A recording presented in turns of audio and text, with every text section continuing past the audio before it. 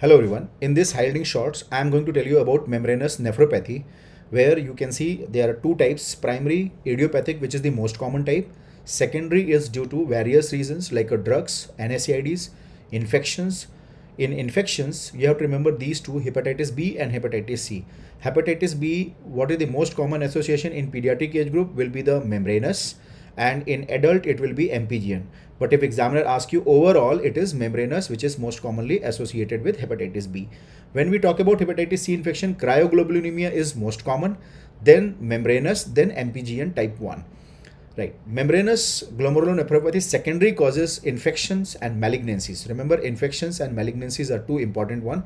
Infections, syphilis and schistosomiasis are most commonly associated with membranous. During malignancies, you have to remember it is solid cancer like a cancer colon and breast. So malignancies are also most commonly associated with membranous glomerulonephropathy. When we talk about pathogenesis, pathogenesis of uh, membranous is associated with megalin antigen. Megalin antigen is a proximal tubule antigen which was the experimental model in the mouse and this was called as Heymann's nephritis. In human being, corresponding to the megalin antigen was phospholipase A2 receptor, right? And there is a new thing which has been added in Robbins, THSD7A these two things phospholipase a2 receptor and thsd7a they are biomarker of membranous disease activity also pathogenesis is immune complex mediated. So what will happen? Cytokine will be released. What they will do? They will cause bone uh, basement membrane damage and visceral epithelial cell damage. Because of basement membrane damage you will see thickening but no rupture. Remember you can see there is no rupture only there is a thickening because of immune complex deposition. And visceral epithelial cell damage you are going to see effacement of the podocyte. So foot processes are lost here. So this is called effacement of podocyte right? So these are the pathogenesis because of the immune complex. On light microscopy, electron microscopy and immunofluorescence microscopy, you will see uh, capillary basement membrane thickening. On uh, immunofluorescence microscopy, granular immunofluorescence because of the immune complexes.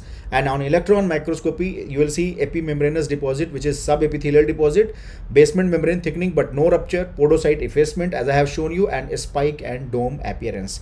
So here you can see immunofluorescence granular appearance right? So these are these are having uh, you know yellow and green granule granule things are present in the capillary. These are the granular immunofluorescence because of immune complexes. On electron microscopy you can see these are the pink immune complexes and in between the green color you can see this is the basement membrane. So this basement membrane is forming a spike.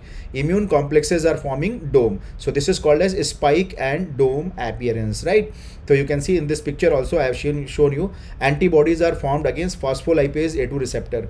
And this is going to form the immune complexes right? So immune complexes are like a dome and in between basement membrane is like a spike right? But remember spike and dome best seen by light microscopy with a special stain like a PAS and silver.